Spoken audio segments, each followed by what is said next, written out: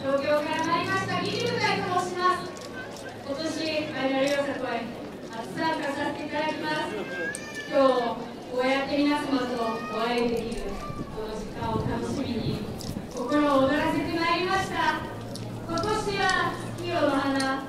すごく天気のいい晴天の下ではありますが月の光を浴びて心を一つに大きく強く色鮮やかな花を咲かせよう。そんな願いを込めて踊らせていただきます。どうぞ短い時間ではございますが